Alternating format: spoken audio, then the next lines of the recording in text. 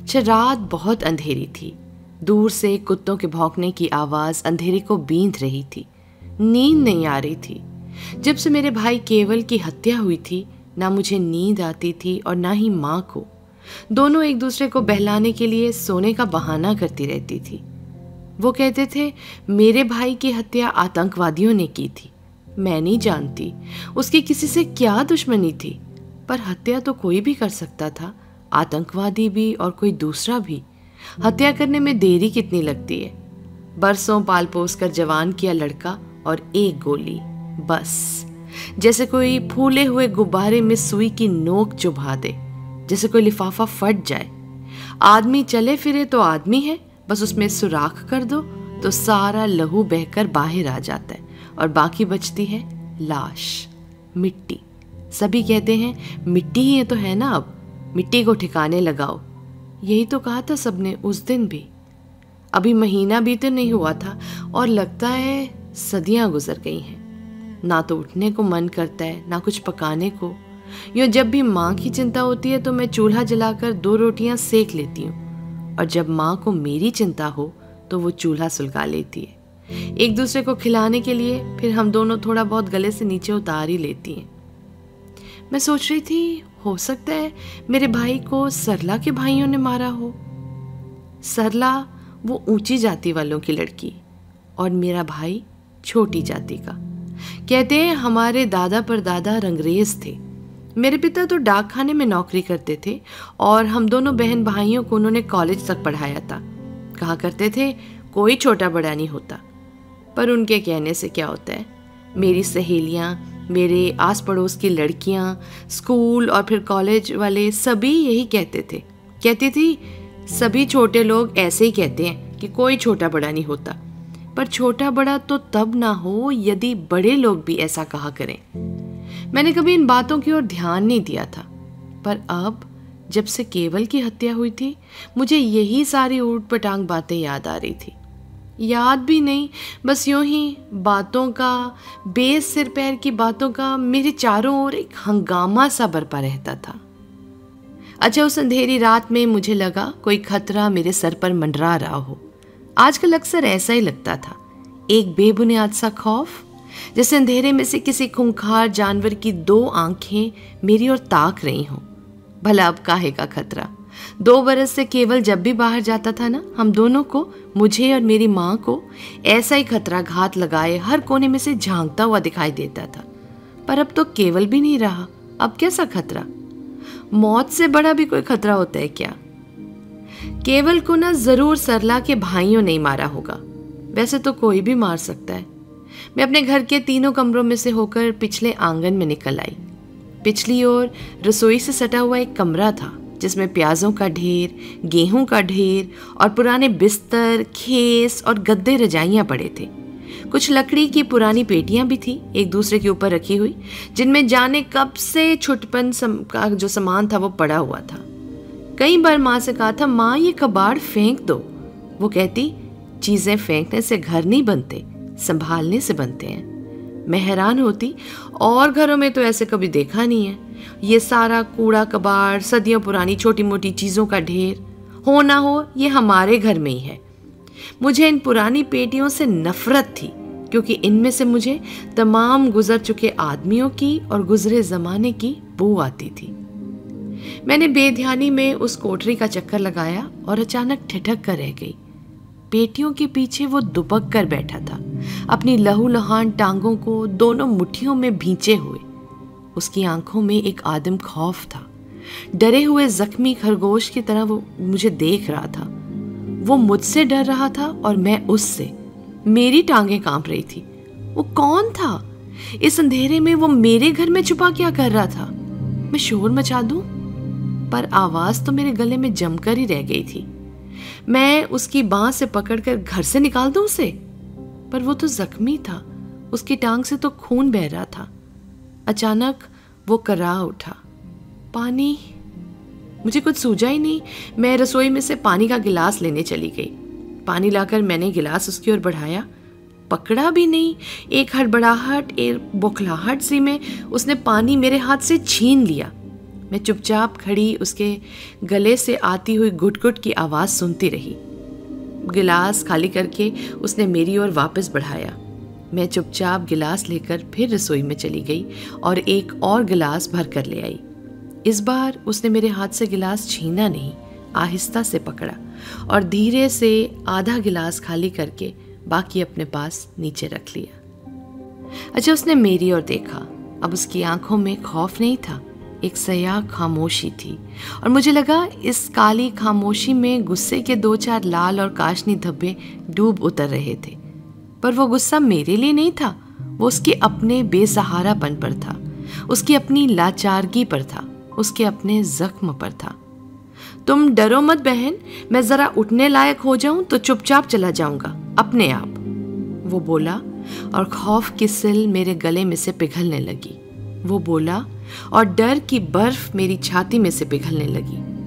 मैं चुपचाप फिर से रसोई में गई और काढ़नी में से दूध का गिलास ले आई। उसने दूध भी आहिस्ता आहिस्ता पी लिया। गिलास मुझे थमाकर उसी बाँ से अपना मुँह भी भोंच लिया। कोई कपड़ा है? टांग पर बाँध लूँ जरा। मैंने एक पेटी खोली, माँ का एक पुराना दुपट्टा निकाला, खोलकर उसे पकड़ा दिया। उसने दुपट्टे का सिरा अपने जख्म पर रखा और टांग के गिर्द तीन चार बल दिए। फिर वो दुपट्टे के सिरों को गांठ लगाने लगा। मैंने देखा, उसके हाथ काँप रहे थे। मैंने दोनों सिरे उसके हाथ से पकड़ लिए और कसकर गांठ लगा दी।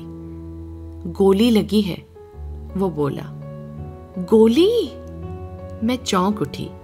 हाँ पुलिस के कुत्तों की गोली। पुलिस? मेरी आवाज़ काँप गई। नहीं, मैं कोई चोर डाकू नहीं हूँ। मैं? और वो रुक गया। आतंकवादी? मैंने आवाज़ को संभालने की पूरी कोशिश की, पर मैं काँप रही थी। मुझे लगा वो मुस्कुरा रहा था। उसके होंठ नहीं, बस उसकी आँखों में से गुजरती हुई मुस्कुराहट की मुझे झलक से मिल गई। तुम जाकर सो जाओ मेरी बहन। दर्द जरा दब जाए तो मैं चुपचाप उठकर चला जाऊँगा। कहीं नहीं जाओगे तुम। न जाने किस अधिकार से मैंने ये कह दिया। इस हालत में कहीं नहीं जाओगे तुम। मैं उठी और बाहर से कोठरी में ताला लगा दिया और आकर अपनी चारपाई पर लेट गई। सुबह हुई तो पुलिस के दो आदमी हमारे घर में आए। पुलिस का आना कोई अनहोनी बात नहीं थी, क्योंकि जब से केवल की हत्या हुई थी, दूसरे चौथे रोज पुलिस आती रहती थी। पर आज पुलिस के इन दो आदमियों को देखकर मैं सहर उठी। कहने लगे, कल रात को चार पाँच आतंकवादियों ने पुलिस के दो सिपाहियों को घेर कर उनसे बंदूकें छीन ली। और जब वो भागे जा रहे थे ना तो किसी तीसरे पुलिस के आदमी ने उन पर गोली चलाई। वो सभी भाग गए। पर शक है कि कम से कम एक को तो ज़रूर गोली लगी है, क्योंकि लहू के छींटे मिट्टी पर पड़े होते। और शायद वो जख्मी भागकर इसी गली में आकर घुसे। पर आप लोग डरे नहीं, जरा कुंडी लगा कर रखें, वक्त बेवक्त बाहर ना निकलें। गली में सभी लोगों के घरों की तलाशियाँ ले रहे हैं हम। भाग कर जाएगा कहाँ? किसी ने छुपाया होगा तो मिल जाएगा, नहीं तो होगा गाँव में ही कहीं पर ढूंढ निकालेंगे। अगर उसके साथी उसे उठाकर और किसी ट्रक में डालकर किसी दूसरी जगह न ले जाएँ तो। वैसे पुलिस को ना इसी ग्रुप पर शक है कि इन्होंने ही आपके केवल को भी मारा है। बच के जाएगा कहाँ एक एक को पकड़ लेंगे। वो बोलते जा रहा था, मेरी माँ होंठों पर पल्ला रखकर चुपचाप सुन रही थी और मैं दरवाजे के पास खड़ी अपनी रगों में दौड़ते लहू की आवाज़ सुन रही थी। कितना खौफनाक, दर्दनाक समय रहा होगा ना वो, अपने हाथों से अपनों को विदा करना। चले अच्छा दोपहर की रोटी खाकर माँ रामायण खोलकर बैठ गई। मैंने चार फालतू पकाई, उन रोटियों पर बैंगन की सब्ज़ी रखी और दुपट्टे में ढक कर मैं आहिस्ता से मैंने ताला खोला और कोठरी के भीतर चली गई। उसकी आँखें बंद थी। मैंने आहिस्ता से उसकी बाँह को उंगलियों से हिलाया। उसने आँखें खोल दी। आँखों में काली पीड़ा तैर रही थी। मैंने रोटियाँ उसकी ओर बढ़ाई। उसने कहा भूख नहीं है। और फिर कराते हुए उसने जख्मी टांग को दोनों हाथों से पकड़कर कुछ सीधा किया। भूख ना हो तो भी खाना होगा। मैंने उसे हुक्म देने की तरह और बड़ी होने के नाते कहा, जैसे बच्चों को डांटा जाता है। उसने चुपचाप रोटियाँ पकड़ ली और खाने लगा। मैंने रात वाला पानी का गिलास उठाया, खाली था वो। रसोई में जाकर मैं फिर से गिलास भर लाई। बहुत दर्द है? मैंने प्यार से पूछा। हाँ गोली अंदर ही है ना, टांग में। सुनकर मुझे बड़ा अजीब सा लगा। आदमी के मांस को फाड़ कर अंदर मांस और खून में छिपी हुई गोली। अजीब सा एहसास था वो। अस्पताल? मैं जानती थी ये कितना फजूल ख्याल था। मैं चुपचाप कोठरी से बाहर निकल आई और कोठरी को ताला लगा दिया। माँ अभी भी रामायण पढ़ रही थी, पर उसकी आवाज़ से लग रहा था जैसे उसका ध्यान कहीं दूर भटक रहा था। मैंने पिटारी में से एक मुड़ा तुड़ा सा नोट निकाला, दुपट्टा संभाला और गली में आ गई। गली में ही दूर बिसाती की दुकान से बाहर के बाहर तीन सिपाही लंबी बेंच पर बैठे हुए थे। मैं दूसरी ओर से गली से बाहर निकली और घूमकर बाहर वाले बाज़ार की दवाइयों वाली दुकान पर आ गई। एक डिटॉल की शीशी, रुई का बंडल और कुछ पट्टियाँ देना। मैंने अपनी लड़खड़ाती हुई आवाज़ को संभालने की कोशिश करते हुए कहा। सभी चीज़ों को हाथ में लेकर मुझे घबराहट हुई। ये सब मैं लेकर कैसे जाऊँगी? कोई लिफाफा है भैया? मैंने उससे कहा। उसने लिफाफा निकालकर सभी चीज़ें उसमें डाल दी। दवाइयों की दुकान से निकलकर मैं परचून की दुकान पर गई। नमक की थैली और चार माचिस की डिब्बियाँ लेकर उसी लिफाफे में ऊपर ऊपर रख ली और घर चली आई। वो तीनों सिपाही अभी भी उसी बेंच पर बैठे हुए थे। रसोई में जाकर मैंने गुनगुने दूध का गिलास भरा और लाकर उसके पास रख दिया। जख्म को साफ़ करके मैंने रुई का बड़ा सा फोहा डिटॉल में भिगोकर उस पर रखा और पट्टी बाँध दी। बाहर से कोठरी को ताला लगाया और राख और मिट्टी से रगड़ रगड़ कर हाथ धोने लगी। तो भी लगता था जैसे डेटॉल की गंध हाथों से जा ही नहीं रही थी। रसोई में जाकर मैंने चाय बनाई, एक गिलास माँ के आगे रख दिया और चारपाई पर बैठकर दूसरे गिलास में से चाय के घूंट भरने लगी। मेरी आँखों के सामने सिर्फ़ भयंकर सूजा हुआ और काले लहू से ढपा हुआ जख्म था। या फिर बाहर गली में दुकान के सामने बेंच पर बैठे हुए वो तीन सिपाही। पता नहीं किस वक्त मुझे नींद ही आ गई। अच्छा आधी रात को उठकर मैं कोठरी में गई, बत्ती जलाई, वो अपनी टांग पर झुका हुआ था।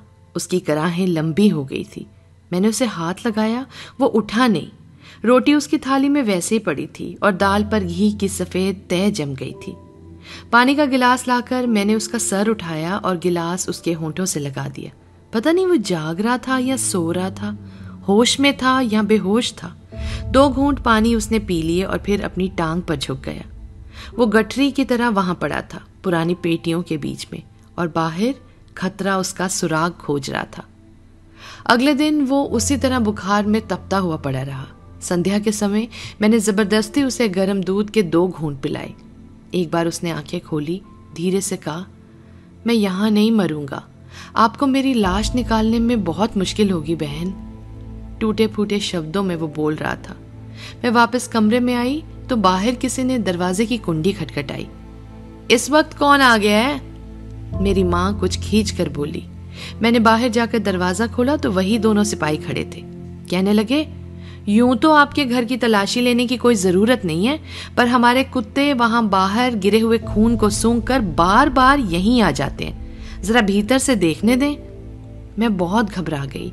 कहा, माँ ना, रात भर सोई नहीं है।